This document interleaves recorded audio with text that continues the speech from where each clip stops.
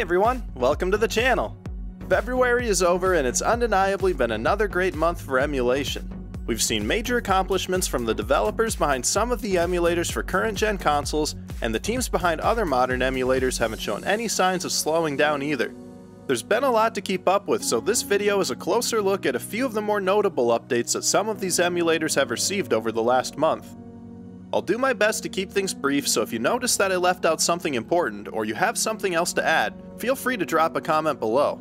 While you're down there, you'll find timestamps in the description, as well as links to all of these emulators and their Patreon pages so that you can try them out and support the people behind them if you'd like. And of course, be sure to hit that subscribe button if you want to keep on seeing more videos from me. Let's kick things off with Xbox emulation and CXBX Reloaded since I missed it in my last recap. Back in January, the team behind this emulator rolled out some big changes to how audio was handled, fixing audio issues in a number of games like Guilty Gear X2, and bringing some games such as Group S Challenge and 007 Nightfire in-game for the first time. The developers continued building on these updates in February, solving a create sound buffer error that caused crashes in a number of titles. Thanks to this, games like Defender which threw this error when launched are now able to boot properly.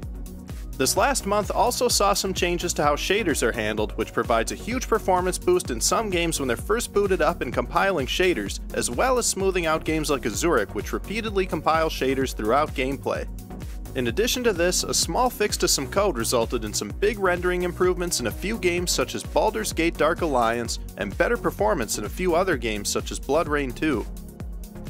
Looking at Xbox 360 emulation, a new set of instructions was implemented in Xenia last month, allowing Telltale games such as Batman and The Walking Dead to boot in-game, although they're not quite totally stable yet.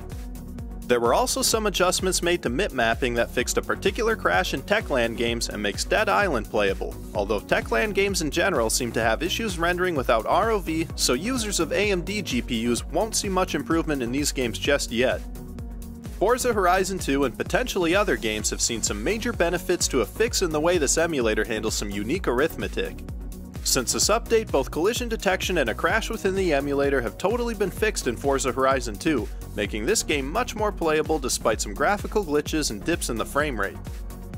The Canary build of Xenia also got some new features last month such as an auto check for updates as well as SDL input, so if you have the library and configuration file set up, many third-party controllers can be used with this emulator without any additional software like X360CE. Moving into the realm of PlayStation emulation, you may have seen the headlines earlier this month when the PlayStation 4 emulator GPCS4 reached a major milestone by going in-game for the first time with the arcade-style shooter We Are Doomed. Needless to say, the emulator is still in its very early stages, so it does take a little bit of work in Visual Studio to launch the game, and when you do, you'll be greeted with a low frame rate and no controller support aside from the keyboard. Nonetheless, this is a huge accomplishment, and the GPCS4 team are hard at work getting a 3D game working on this emulator as well, with NieR Automata in their sights. I expect it'll be a long time before we see many games running on GPCS4, but it's very impressive to see progress like this in an emulator for a current gen console. Looking at PlayStation 3 emulation, this month has kept the RPCS3 developers on their toes fixing a number of regressions and really polishing up some recent changes to this emulator. One long-standing regression that was fixed was a driver-related issue with some AMD graphics cards, which caused some visual artifacts in quite a few games such as Gatling Gears and Class of Heroes 2G. Early in February, we also saw some texture fixes for Heavy Rain and possibly other games as well thanks to a fix to how Write Color Buffers works. Along with these texture fixes, we also saw an update that further cleans up how Z-culling is handled in this emulator, which solves an issue with lighting effects showing up through walls in some games like Alien Isolation. This month also saw a fix for a handful of games where characters used to spawn out of bounds or fall through scenery. Some notable examples of this are Ratchet & Clank Tools of Destruction and Quest for Booty, where Ratchet no longer falls through the map. While these games still aren't quite stable enough to be considered playable just yet, this update does make it much easier to progress through both of them. And on top of all of this, you'll find lots of minor updates and behind the scenes fixes to the Xaudio and OpenGL backends, as well as the addition of proper multi-language support to the native UI within this emulator. Nintendo Switch emulation also saw a ton of improvements this last month with the developers of Ryujinx kicking things off by continuing to build on January's OpenGL overhaul. One piece of this came right at the end of January when stencil texturing was enabled, allowing Xenoblade Chronicles 2 to render much better than before, although it's worth mentioning that this game is still fairly unstable overall. Another piece of this came with some fixes to the GL renderer which solved some crashes and other issues when exiting out of a game. And to top things off, most of the A32 instruction set was added to Ryujinx which is required by many games. So far, a few games like Captain Toad Treasure Tracker are now in-game, and the developers are hard at work implementing the rest of this instruction set so that even more games will be up and running. In fact, Mario Kart 8 is in-game as of early March, but I'll touch on that a bit more in the next recap. As we move further into Nintendo emulation, I just want to make a quick note that I'll be looking exclusively at the free-to-play versions of the next couple of emulators. Some of these updates have been in early access builds for quite a while, but I want to focus on what's available for everyone. Still looking at Switch emulation, the team behind Yuzu also started February out on a strong note by merging the Vulkan API from the early access builds into the mainline build. This graphics backend provides a general boost in performance and render quality to the majority of games running on this emulator, with some exceptions like Pokemon Sword and Shield. Thanks to this update, this emulator is much more usable on lower end systems, as well as AMD GPUs in general due to their poor OpenGL support.